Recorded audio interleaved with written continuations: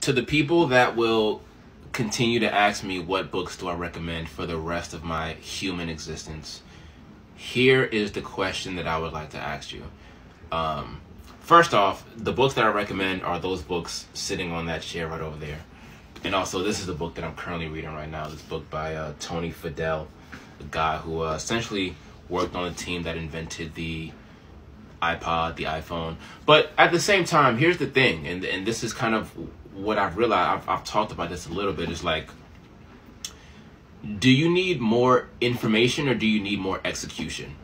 You know, I, and I think I heard I heard somebody ask that question, and I think that's just a great question for me to ask myself. Like, even all of these, all of those books in the back, and me reading this book right now, it's like, but I still have to ask myself. It's like as far as me wanting to get to where I want to go, is it gonna take more? Is it gonna is the information gonna get me to where I want to go, or is the execution gonna get me to where I want to go? Like what what is a better strategy?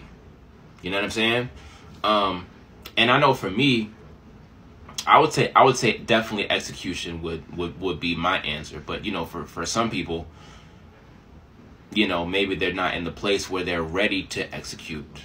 And I, and I don't think anybody's ever going to be in the place where they're ready to execute because the reality is like you can read all of those books, you can read fucking this book, but you're still not going to be ready.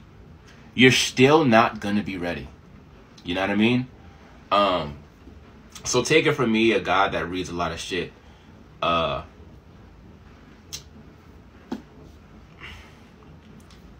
is information more important than execution? Is execution more important than information?